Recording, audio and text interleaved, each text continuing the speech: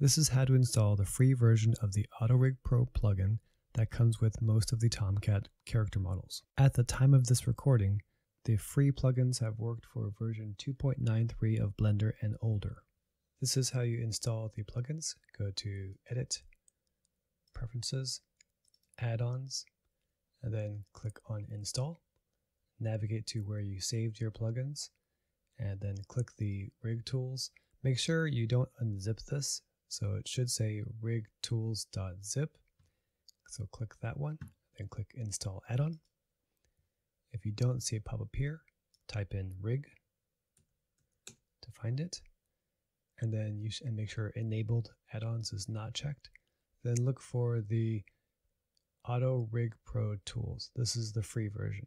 This one here is the paid version. So Auto Rig Pro tools, click that one. Let's move this aside here. Grab your rig to make sure it's working.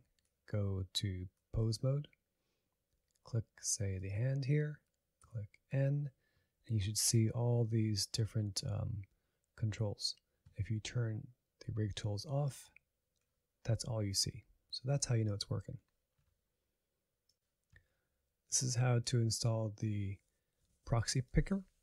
So go to install, go to the place where you save the plugins, click proxy picker, install the add-on, and then if you don't see it pop up automatically, type in PROX for proxy picker. Click that. And then your full proxy picker should work.